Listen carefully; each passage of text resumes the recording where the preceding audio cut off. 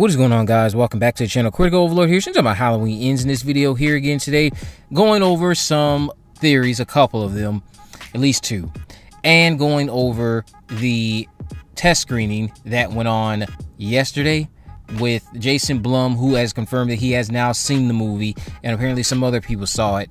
So, when it comes to these theories that I'm seeing and considering, one of them is, of course, obviously, making Michael and Laurie Strode siblings again in the end.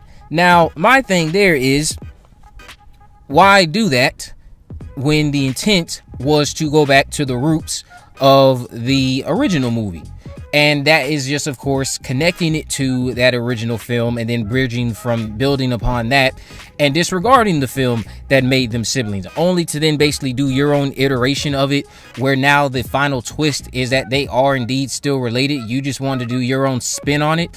I mean you'll have a lot of people arguing you could have just left that in meaning you could have left halloween 1 and 2 canon and then you could have just built on it from there. You could have basically done a I guess you could say a remake of Halloween H2O. Uh, that's what many people already joke about this one as Halloween H4O with the 2018 movie. So, and of course, you have the joke, oh, H60's coming. Uh, but I think making them siblings again would just defeat the purpose of what they've already tried to discredit as being not something that is relevant or necessary for the story they've been trying to convey, which is going back to the roots of Michael Myers is not going to have a motive per se. Now, I will add, I will admit this. They can be siblings, but then I guess the thing that's different here is that Michael wasn't actively pursuing his sibling this whole entire time as much as the sibling Laurie was pursuing him because that's again how it was in the 2018 movie. Michael wasn't after Laurie, Laurie was after Michael. So I guess that could be the fresh thing here. You have Michael and Laurie once again related. However, there's nothing that really is compelling him to go out of his way to kill his little sister as much as he probably was again in my own theory considering maybe going home to find his parents. Maybe there's some some bad blood there. He wants to deal with his parents. He's not concerned with any other relatives. And it doesn't have to tie into anything related to the thorn or anything like that. You don't have to go into some long drawn out reason for why he wants to kill his family. It could just be he just gone insane. He snapped. There might be some hostility between him and his parents if they want to do that. Uh, that could be explored in ends if they were to even be brought up. But bringing in that sibling angle again, I know a lot of people would like it. I personally wouldn't, only because again, I would be one of those arguing, okay, well, you should have just kept the second movie canon and you could have just done a reimagining of H2O. Because again, you already have the jokes that the 2018 movie was Halloween H4O.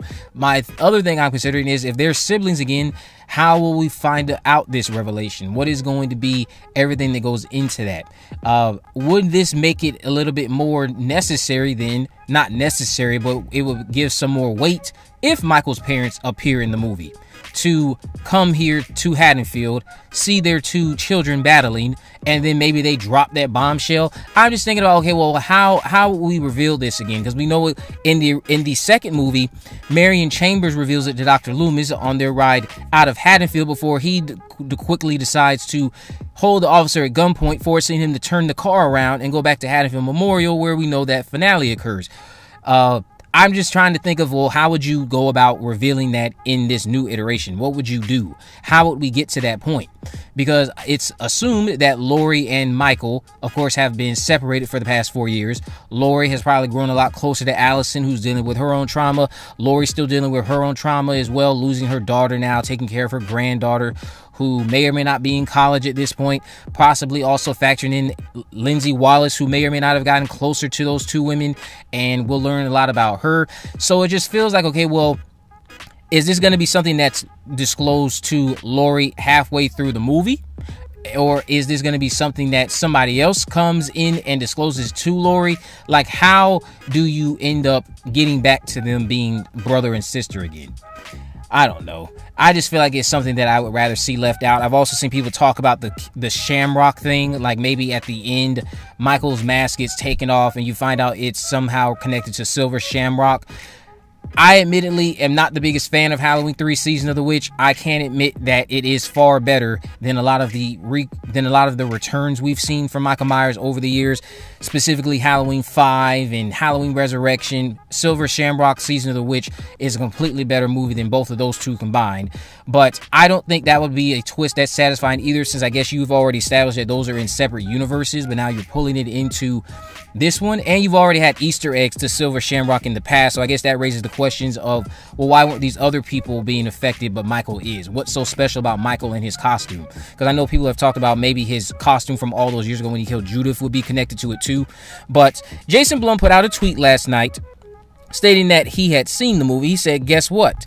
I actually saw Halloween Kills or Halloween Ends last night. Now, of course, he didn't go into any specifics. Now, if he did go into it, like expressing that it was a good time or that he liked it, again, it's, it's Jason Blum. It's He's involved with the movie. I'm not saying that there's not anything to get excited about from that, but of course, he's not going to come out and tweet you know, I just saw I just saw the worst movie ever. Now imagine this was Black Christmas 2019 and he came out and said that that was an amazing thing. If he just put out a tweet saying that he just saw Black Christmas 2019 was amazing and then a couple months later you find out that it's actually trash. but Big Screen Leaks also followed up with that and revealed that Halloween Ends had a test screening last night for a select group of people in the film industry. I think they also elaborated and said that they were they were waiting to they were not going to reveal it, but since Jason Blum tweeted tweeted something out, they went ahead and expose it as well. So a select few people, probably meaning like some critics or something like that, in higher up positions, uh, writing for a few different websites or outlets, and they, of course, are not going to come out and tell you anything because they've all signed NDAs. There's a lot more respect there when it comes to those individuals. This means that I guess that you shouldn't expect many leaks to come online until maybe possibly another test screening happens, which involves a wider selection from the public now now attending because of the fact that for those of you who watch my note videos, you know I just did a test screening reaction video where people who I'm telling you right now, they had to have signed NDAs they had to be members of the public too went out of their way to go share reactions over on reddit. These select group people select few people are most likely critics who are not going to do that so reactions to halloween ends probably won't break out to another test screening happens where the public is allowed. But let me know what you guys think about all that down in the comment section below. If you haven't already of course make sure you subscribe turn on post notification and never miss a video. In the description i have links to my social media accounts on facebook twitter and instagram. You can message me there of course let me know any movies news or reviews you'd like me to cover in the future. And with all that in mind guys i will see you in the next video